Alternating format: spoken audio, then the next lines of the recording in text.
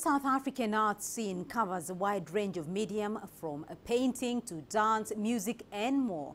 The country has one of the most vibrant and sophisticated art scenes on the continent, but creatives still struggle to make a living.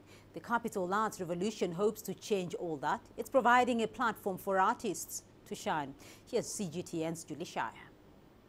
Pretoria is the administrative seat of government and the capital of South Africa and the aptly named Capital Arts Revolution has plans to help the city find its artistic heartbeat.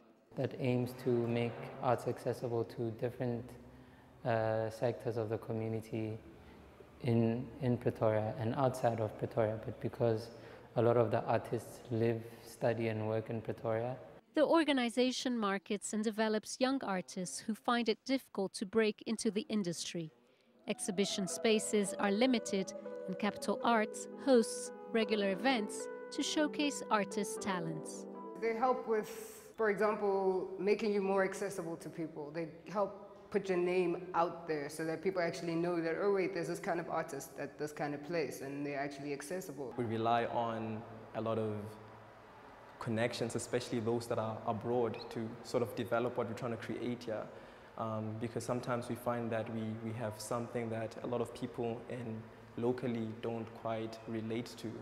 So trying to sell yourself and like what you're speaking about, publishing and all these things, and it, ca it can be challenging. Making a living as an artist is no easy task. Many creatives spend their lives following their passion, and very few are recognized for their work.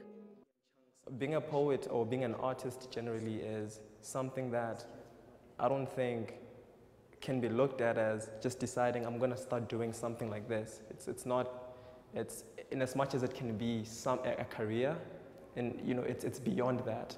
It's, it's something that is more of like a calling, I would say. Capital Arts Revolution is trying to help young people turn their passions into paying careers.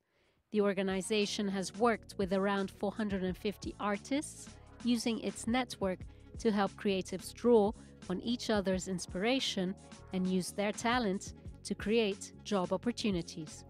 Julie Scheier, CGTN, Pretoria, South Africa.